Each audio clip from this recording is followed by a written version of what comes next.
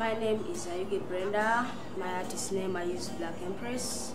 I'm a ghetto youth from Kisenyi slum. It's in Kampala, Uganda.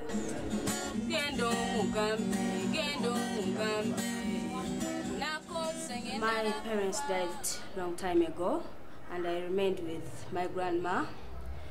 And uh, in the ghetto there, I started staying with some of boys around, and then they want they taught they taught me how to take weed. After that, they wanted me again to join them to do gun steal, but for me, my heart didn't want that. So uh, I wanted to do something.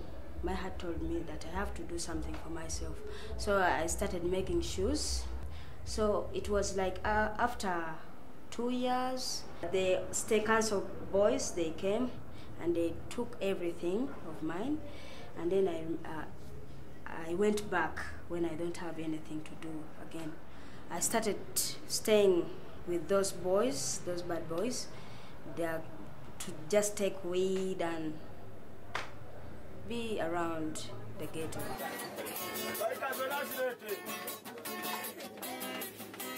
I found Street Voice in uh, in our area in Kisenyi, and uh, I started singing there. I started playing a guitar. They taught me how to play a guitar.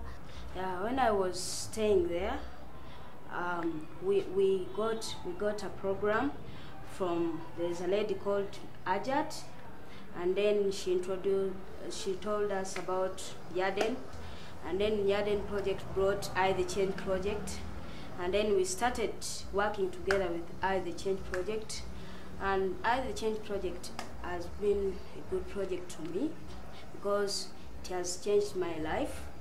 Um, I'm now a good girl. I don't do bad things.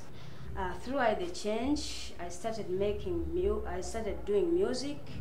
Uh, that music it's to teach young young kids in, in the ghetto and to teach the girls who are in the ghetto so that they cannot uh, do a crime, so that they can be patient and do something for some good job for themselves.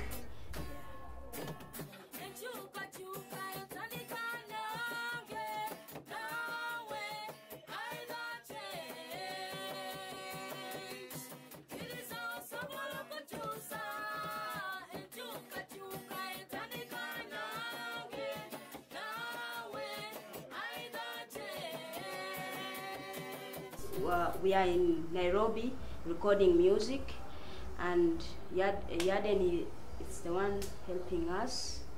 So I'm just happy about that.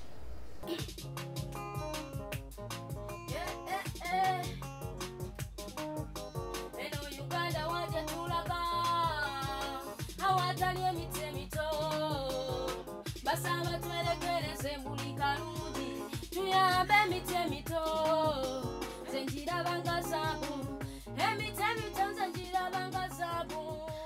use my music to inspire the younger generation and to teach other people in my country. That's what I use. Well, that's eno uganda waje tulaga awatali emiti emito basaba twerekereze buli kalungi tuyambe emiti emito that's the change my voice has made.